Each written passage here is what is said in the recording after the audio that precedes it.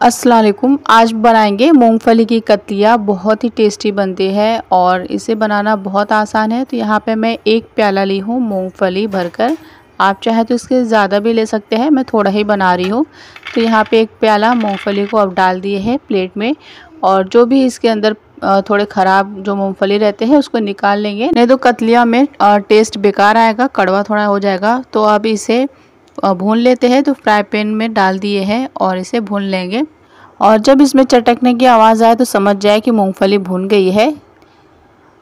और यहाँ पे भुन गई है मूंगफली, इसमें चटकने की आवाज़ आ गई है। तो अब इसे निकाल लेंगे गैस का फ्लेम बंद करके और इसे एक बर्तन में निकाल देंगे। जब ये थोड़ा सा ठंडा हो जाएगा तो इसको हाथों से इस तरीके से मसल के इसके छिलके को निकाल देंगे। या फिर आप कोई भी कपड़ा ले और उसके अंदर डालकर इसको मसल ले तो इजीली निकल जाता है। तो मैं यहाँ पे इस तरीके से हाथों से मसल मसल के इसके छिलके को निकाल दूँगी। यहाँ पे छिलके को निकाल लिए है और कुछ बच गए हैं जिसमें मूंगफली के छिलके नहीं निकले हैं तो वो चलेगा। उतना थोड़ा बहुत चल जाता है और अब इसे छान लेते हैं। और इस तरीके से मैं इसके अंदर डाल रही हूँ छानने में और इसको इस तरीके से छान दूँगी और ताकि इसके कचरे निकल जाएँगे। और इसको एक बर्तन में निकाल लेंगे अब। और जो नीचे दाने गिर गए हैं, उसको भी इसके अंदर निकाल के रख देंगे। और यहाँ पे मूंगफली के दाने को निकाल दिए हैं इसके छिलके को।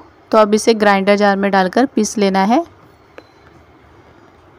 थोड़ा थोड़ा चलाकर ग्राइंडर जार में पीसना है। एक साथ चलाते हुए नहीं पीसेंगे। थोड़ा थोड़ा रोक रोक के पीसना है। नहीं तो मूंगफली ऑयल छोड़ देगा तो ख़राब हो जाएगा।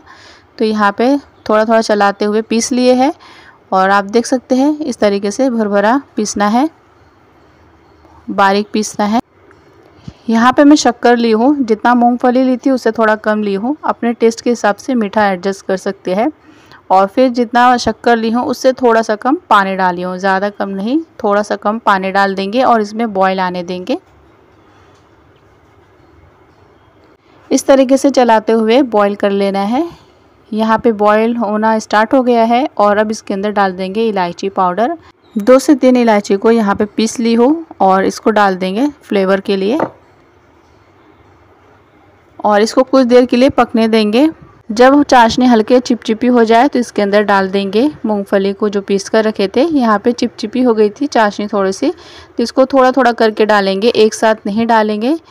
यहाँ पे थोड़ा थोड़ा करके यहाँ पे डालते जाएँगे और एक हाथ से चलाते जाएँगे। यहाँ पे पिसी हुई मूंगफली को डाल दिए हैं। अब इसे कंटिन्यू इस तरीके से चलाते जाएँगे ताकि लम्स न पड़े और इसमें तेल या घी कोई की ज़रूरत नहीं रहती है, क्योंकि ये खुद अपना ऑयल छोड़ता है। तो यहाँ पे इस तरीके से चलाते हुए जाएँगे, जब तक ये थोड़ा बाइंडिंग फॉर्म में ना आ जाए। मीडियम टू स्लो फ्लेम पे करेंगे इसको, भुनेंगे इस तरीके से। और आप देख सकते हैं ये बाइंडिंग फॉर्म में आ गया है। कैसे मालूम करें कि ये कतलियाँ बनाने के लिए तैयार हो गया है? तो थोड़ा सा एक बर्तन में निकाल कर और इसको हाथों से इस तरीके से गोल गोल करेंगे। तो ये चिपकता नहीं है और इजीली इस तरीके से गोल हो रहा है। तो ये समझ जाए, इसको और पकाने की ज़रूरत नहीं है और गैस का फ्लेम बंद कर देंगे और इसे एक बर्तन में निकाल देंगे जिस बर्तन में जमाना है। तो यहाँ पे मैं एक ट्रे ली हूँ और इसमें ऑयल लगा दी हूँ और इसमें अब डाल देंगे। थोड़ा ही बेटर है तो आधी साइड में ही ऑयल लगाई हूँ और अब स्पून पे भी ऑयल लगा लेंगे और इस तरीके से इसको सेट कर लेंगे। यहाँ पे इस तरीके से सेट कर लिए हैं, हर तरफ़ से सेट कर लेंगे। और अब इसे ठंडा कर लेंगे। इसको फ्रिज में मैं डाल रही हूँ। फ्रिज में दो तीन घंटे के लिए नीचे वाले हिस्से में डाल दूँगी। और फिर इस दो तीन घंटे बाद अब इसे कट कर लेंगे चाकू की हेल्प से। आप कोई भी शेप में कट कर सकते हैं, चौकोन या फिर कतलियों का शेप कोई भी शेप दे सकते हैं। और यहाँ पे कट कर लिए हैं दोनों तरफ़ से। इसका टेस्ट सेम काजू कतली का टेस्ट की तरह लगता है। सेम उसी की तरह टेस्ट है इसका। बहुत ही टेस्टी लगता है। एक बार ज़रूर बनाकर ट्राई करें। वीडियो अच्छा लगा तो लाइक करें। चैनल पर नए हो तो सब्सक्राइब कर लें। मिलते हैं नेक्स्ट वीडियो में इसी तरीके के रेसिपीज़ के साथ।